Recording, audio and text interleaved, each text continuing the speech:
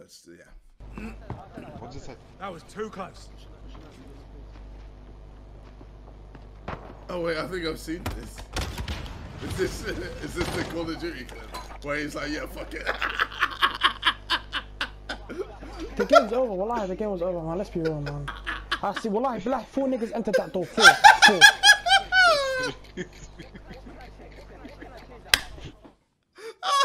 Ah.